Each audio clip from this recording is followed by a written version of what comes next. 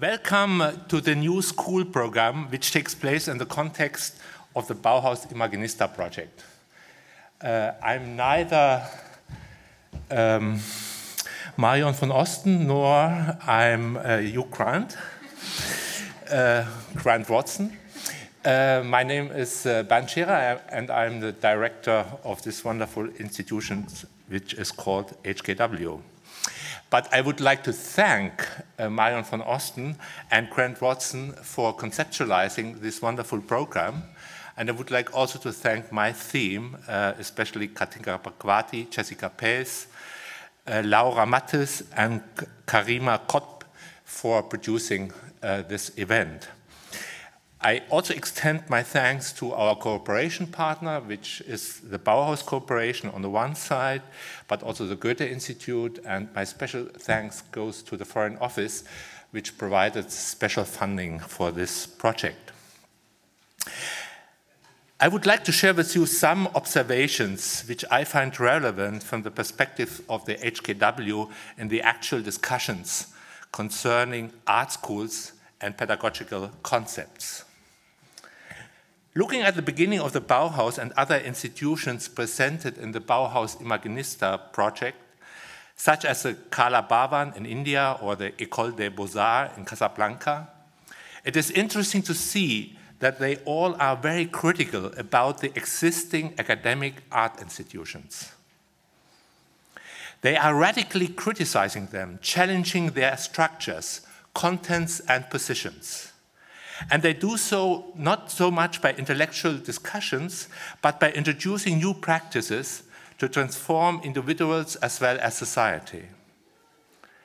At the end, but, they do not discard the idea of the institution itself. They want to revolutionize its content and form, but not give up the concept.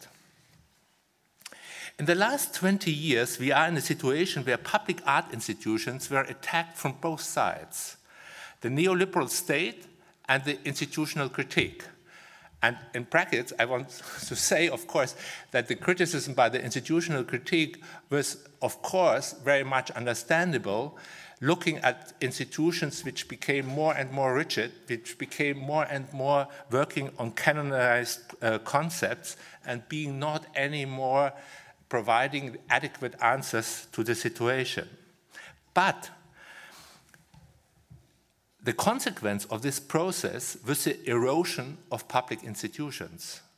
This opens the neoliberal state and the corporate world a direct access to the individual, thereby undermining social and communal engagement.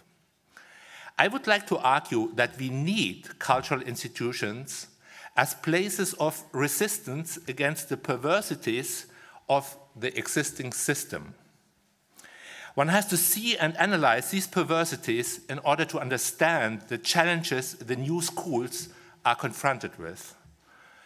And I have four perversities. First perversity, the transformation of subjectivity and creativity, which is at the heart of the art education into an individualism where the individual is not anymore conceived as a subject which is exploring herself in interactions and relations with others, but is an atomic unity which works only on its personal enhancement. With respect to this perversity, we have to conceive the new schools as places which support social interaction and engagement also as part of subjectivity uh, formation. Second perversity, digital capitalism is based on exploring creativity and all forms of self-enhancement in commodifying the data they get from the individuals. They sell them as part of their business models. As an answer to this perversity, we need new schools as places of analog interactions and laboratories of new forms of corporations. As spaces where the data collection of the platform do not have direct access to, where experience and thoughts and practices are shared without being connected to the digital world directly. Third perversity, there are two important shifts. The one concerns the paradigmatic figure of the critical discourse, from the worker in the 20th century to the refugee in the 21st century. And the other is a shift of discourse frames itself, from the discourse of internationalism to the discourse of globalization. Both shifts are in such a way interconnected that they produce the third perversity. In the internationalism of the workers' movement in the 20th century, the worker was the active agent trying to shape international relationships. In the discourse of the globalization of the 21st century, the refugee becomes the object of global governance system. Her life gets regulated by administrative regulations of existing nation states in order to avoid that her role is questioning existing political structures. That means the terminology of globalization and governance is taming the paradigmatic figure of the 21st century, which could and is implicitly challenging the system. We have to develop practices which challenge exactly these taming processes. We have to build coalitions which allow to make visible what the system tries to disguise and to make invisible. The fourth and last perversity.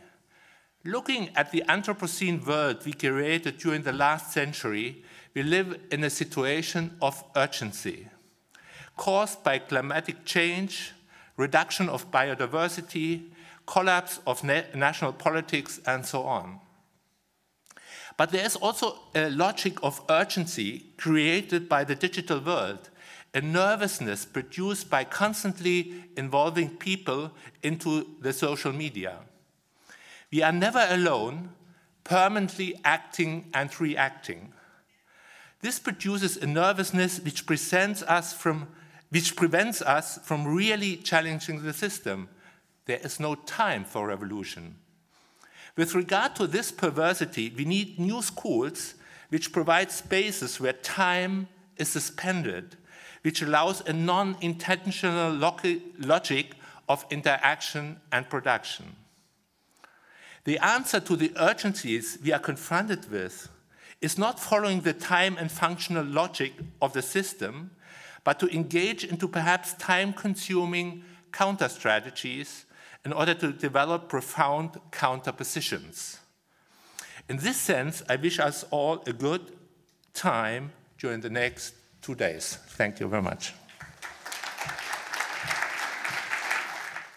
I bring some color into the on the stage, and uh, I deeply welcome everybody for a new, the, a new school conference, which was actually a long time wish to do this uh, because of the whole experience of the projects of the last years. 2016, Grant Watson and me started uh, with a large team of researchers and I will give you some of the thoughts of some schools today, including the Bauhaus, which will not be addressed because we could not invite everybody, uh, or it would have been three days. So, um, with this first day of our conference, we aim to rethink the Bauhaus School's exceptionalism and its pedagogical ethos from the perspective of other schools and learning sites established in the 20th century that, in part, are also on display here in the exhibition at HKW. With a change on perspective of Bauhaus Imaginista, the Bauhaus School is placed into a network of multiple modernist pedagogical experiments and sites of learning from the early to the mid of the 20th century, one could say. Engaging with the perspective of worlding the Bauhaus, two critical shifts in perspective are taken to challenge existing historiography.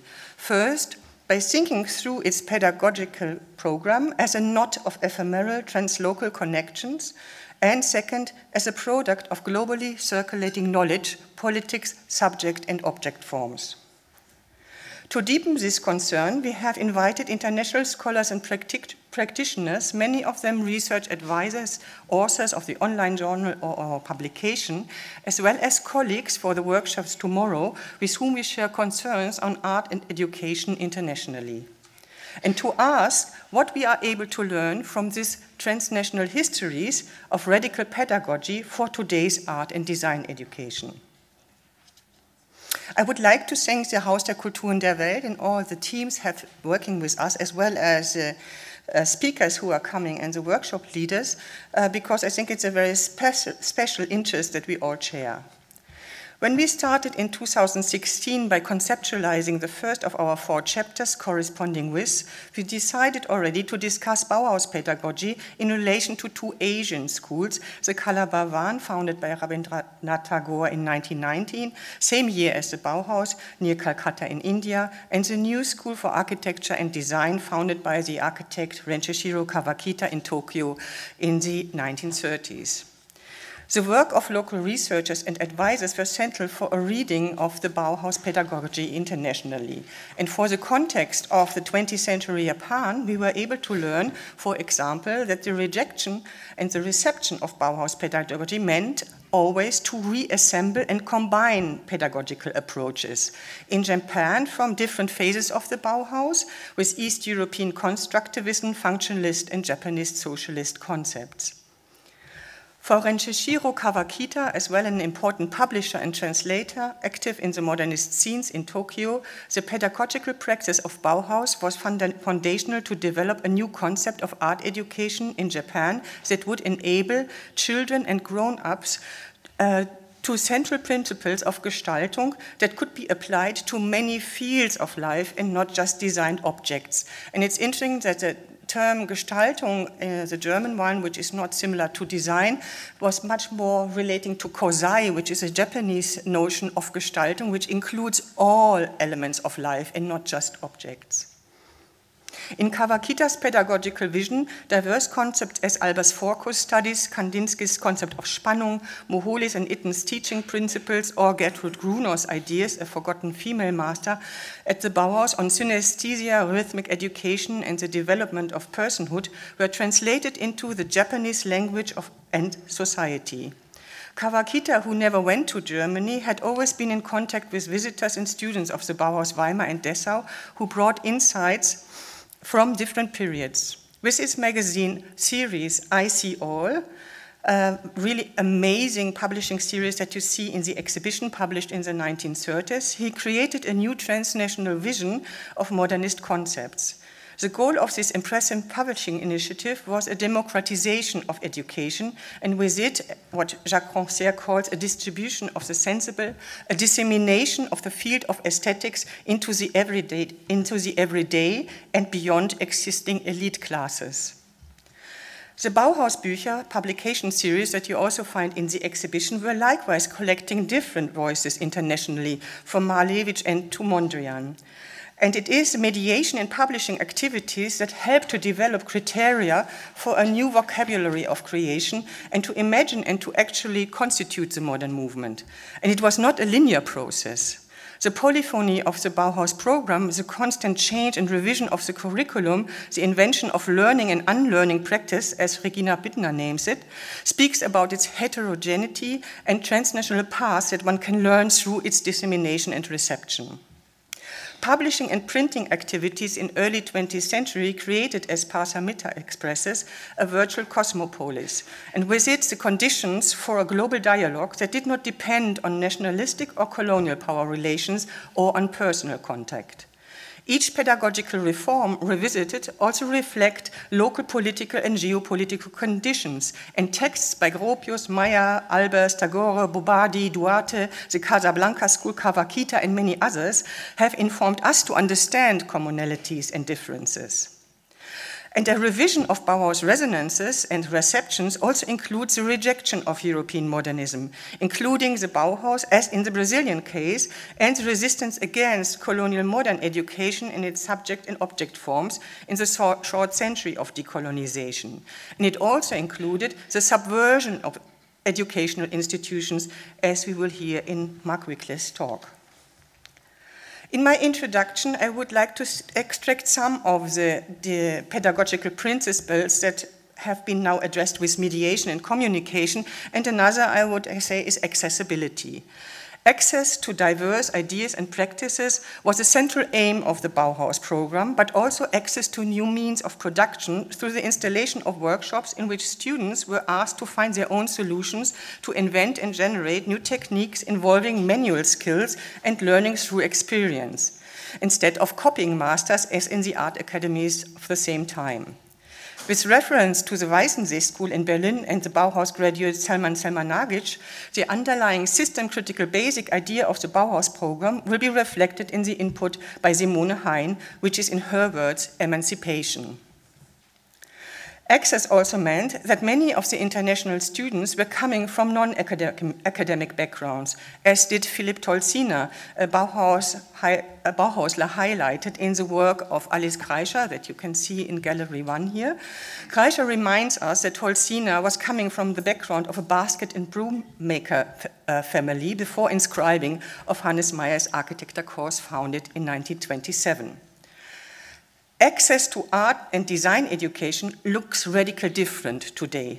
Studies on students' life of the 21st century show that contemporary art, architecture, and design students come mainly from an educated or even upper class background, and that exclusion to design education it goes further when we leave the Schengen space, facing missing infrastructures, ask students to pay high entry fees at specially rated neoliberal art and design schools abroad.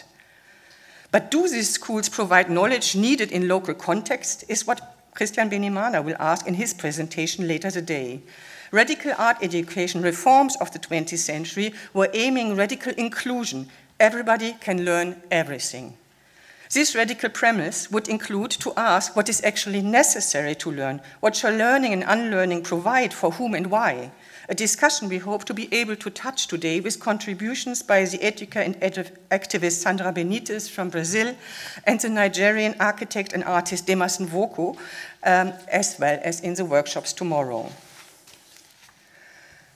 Let's go back to the Bauhaus architect Philipp Tolziner. In his personal archive, conducted over years in his tiny flat in Moscow, photos, letters, and documents show how students became part of the building process of, for the balcony house in Dessau-Törten, as well as for the trade union school in Bernau. These were designed by Meyer Wittwer and in parts also by Ari Sharon. Male as well as female students were in responsibility of parts of the interior and exterior design and the building process. They were learning on site. They were learning literally to build. The construction side, the process of making as a form of para-institutional learning, runs as an alternative of idea of learning and education through the long history of the 20th century. This practical model was already established by Gropius in projects as the Haus Sommerfeld, the Haus am Horn, and the Törten settlement. This also included to learn from each other and not only to have manual skills, but also social skills, cooperation. Building experience that's realized in cooperation in another political and societal context will be addressed by the architecture historian Bayo Amole, presenting the IFE campus West, uh, of the West Nigerian Obafemi Awolowo University, designed by Ari Sharon between 1960s and 80s. And the building complex still functions today as a model architecture for learning practices in many senses. But the perspective of building of architecture, urbanism, and with this the process of industrialization also found its criticism in the post-war era. In 1954, the Danish artist Asger Jorn wrote, Max Bill has undertaken to restructure the Bauhaus. He wishes to make a school without painting, without research into the imagination, fantasy, science symbols. All he wants is a technical instruction, an industrial art school. In the name of experimental artists, I intend to create an international movement for an Imaginist Bauhaus. The foundation of an international movement for an Imaginist Bauhaus in Alba in Italy 1955 by Jorn, Pinot Gallizio, and Simondo finally fused as some of us know who has seen the exhibition here about the situationist into the situationist international movement.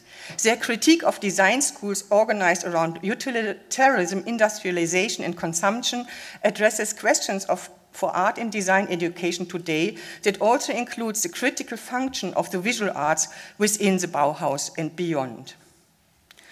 At the heart of the Bauhaus curriculum stood the synthesis of all the arts. This inter-arts concept was based on the radical institutional critique and formed against the division of fine and applied arts as a critical intervention into disciplinary divisions and functions of art in a former feudal, nationalistic and militaristic society a concept that became relevant in post-independence Morocco from 1962 onwards, but was also strongly recalibrated and adapted. As Toni Maraini shows, the relation between design, craft, and the visual arts became highly political when artists wanted to decolonize the art education in Morocco, and some of these works you see in the exhibition. The École de Casablanca artist group's approach was to consider handicrafts as a popular mode of cultural expression, including interiors, local non-figurative forms of expression, calligraphy, and rural decorative patterning practices.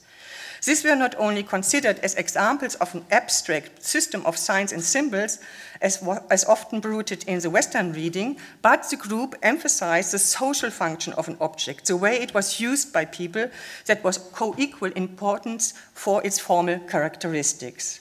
This focus on usability also required a new understanding of the arts in society, and artists who were looking for engagements in the public spheres or in architecture projects or also asked for the development of a new epistemology that would include African culture into the post-colonial movement. The Casablanca School was the first institution that used the word popular arts, the word popular arts, art populaire, as before the French used the word folklore, artisanat, or native arts, or the colonial expression les arts indigènes.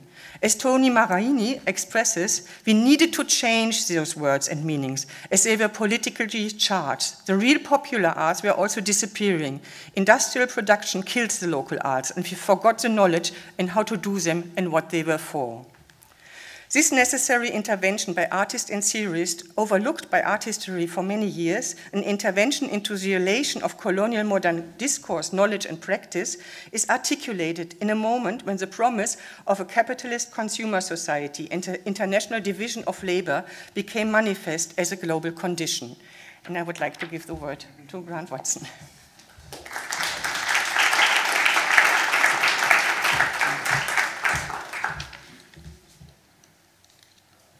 Uh, thank you, Marion, and thank you everybody for coming on this beautifully sunny Saturday morning. Um, I just want to follow up on what Marion said with just a few sort of thoughts about the exhibition.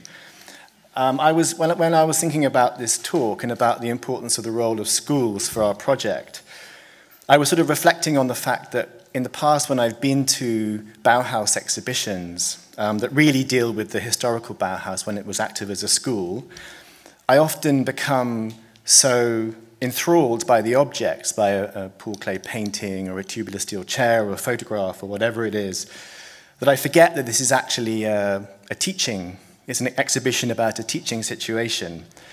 And what was interesting for me and maybe also for Marion in the development of, in the evolution of our project is that we sort of slowly, I think, started to realize the importance of the schools. And when we started to think, okay, how many schools do we have in our exhibition? It was like, there's another, there's another, there's another, there's another, there's another. And suddenly we realized the exhibition itself is full of these representations of schools. And when you, most of you probably have seen the show, but if you, you haven't, you obviously can uh, follow up and, and, and identify them for yourself. And even where um, in some of the displays you have particular objects, for example, with the, the, the Marguerite Wildenhain ceramics, which are kind of such, such beautiful objects in their own right, they're also sort of embedded within uh, archival and film material that locates them within, you know, Pond Farm as a, as a, as a space of uh, teaching, uh, important space of teaching. Um, and so as we began to develop the project, we realized that one of the focuses should be on schools, and as Marion has said, this, the first chapter of the exhibition corresponding with deals exclusively with three schools and shows um, these teaching materials from those schools. What was very important for us in terms of the idea of uh, Bauhaus pedagogy and Bauhaus reception in general was to get out of the idea of a diffusion model. So the idea that the Bauhaus is traveling uh, seamlessly to other contexts and being taken up um, and to think instead not about influence, but instead about the to position the Bauhaus in relation to a whole series of other movements and educational projects. Um, and it's interesting, Rainer Wick um, wrote a book about Bauhaus teaching, and in it he says, you know, the, he talks about the impossibility of the translation of the Bauhaus pedagogy, given that the Bauhaus itself was occupying very particular historical and economic circumstances, the role that was played by the, um, the, the teachers, the important figures that were kind of present in the Bauhaus, and also, as Marion has pointed out, the internal heterogeneity of the Bauhaus itself. So it's a kind of very complicated uh, project over the course of its lifetime. Um, the, in, in, terms of Bauhaus pedagogy, it was established, of course, in 1919 by uh, Walter Gropius with the Manifesto, which I think is interesting in the sense that it provides this combination of a, a social vision with a very practical um, set of applications. So he gives detailed account of the different courses which will be uh, offered at the Bauhaus. And the curriculum included, I think, as many of you know, the, the, the, preliminary course, which was the perhaps the kind of bedrock of a Bauhaus teaching, um, and a mandatory part of the education of Bauhaus students. So when they came, uh, initially it was six months, it was extended to a year, and it's been, in a way, the most resilient of all of the aspects of Bauhaus pedagogy. So when we look to the other schools uh, in our research, we see that the preliminary course is something which has been taken up um, and to a certain extent adapted, um, but there was ideas from the preliminary course which also remain. Um, even in the United States, where Bauhaus ideas are supposedly the most comprehensively transferred, um, within the 50 or so Bauhauses that traveled to the United States and stayed there for any period of time, uh, they were forced to adapt when they were taking up teaching positions in the United States. And Gabriele Diana Grawe, who writes an article in the end of Rainer Wick's book, which was one of the, uh, for me, quite important texts which talks about the dissemination of Bauhaus pedagogy. She says that um, you know, there, of course, were the very famous leading figures of the Bauhaus, uh, Gropius and uh, Albers and so forth, but there were many, many teachers who kind of found uh, employment in different educational establishments in the United States. And what she said about this was that actually they had to very much uh, specialize in terms of um, really surviving in a free market economy. So the interdisciplinary idea, uh, in, in, in many respects, had to be um, sort of honed into a much more kind of specialist way of, much more specialist way of uh, teaching. Um, so what we've done in our exhibition, in our project, is we've looked at different case studies of schools, and Marion has already uh, identified quite a few of these.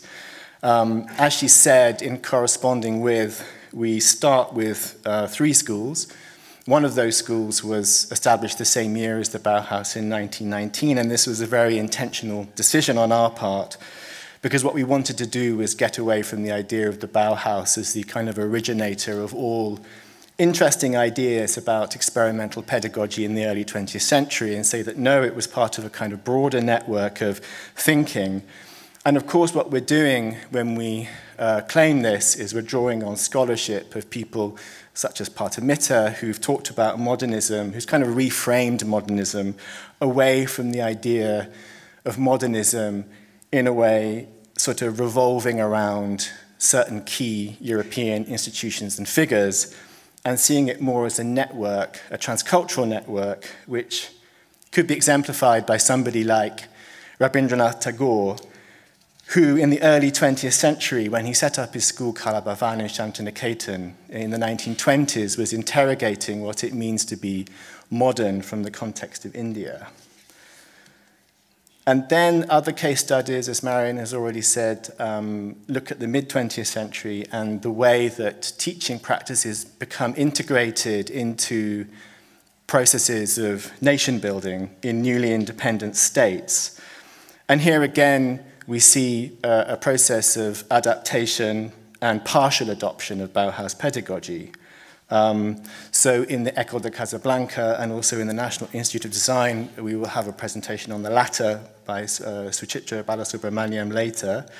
Um, yes, some aspects of Bauhaus pedagogy were picked up and used, but they had to be somehow um, uh, brought into a relationship with um, materials and ideas about design and architecture from much more immediate sources. And then um, towards the end of the 20th century, in examples such as MIT in the, in the States and the Leeds School of Art in, in the UK, we see how developments in technology and also the emergence of um, youth culture uh, in, in the post-war period completely transformed the notion of what was possible and what was desirable for young people coming into art and design education in the 1970s, 80s, and perhaps early 90s. Um, so our research, as, as, as has been said, um, drew and was built on uh, relationships with scholars from many different parts of the world. And we really wanted to bring as many people as we could together today to present uh, materials about those schools, but also the temptation to go beyond those researchers and to invite other uh, academics, curators, artists, and thinkers to um, present um, additional materials. So I think what we're presenting is quite an eclectic group of presentations. Um, but we tried to group them around a series of questions. So the first panel looks at um, questions of historical context. So why um, is it necessary to start a new school, or why is it necessary to reform um, an education project in an existing school? What are the circumstances which, which lead to that? The second panel addresses uh, spatiality and it has a particularly architectural focus It looks at the campus, it looks at campus architecture, and it looks at the development of architectural projects within kind of new architectural teaching situations. And the third panel um, is thinking about the curriculum, thinking about the curriculum as something which can facilitate um, creative experimentation or can perhaps limit it. So the curriculum or the institution. So how do teachers um, work within a curriculum or an institution or how do they transgress it? So those are the three, the three panels that we have today.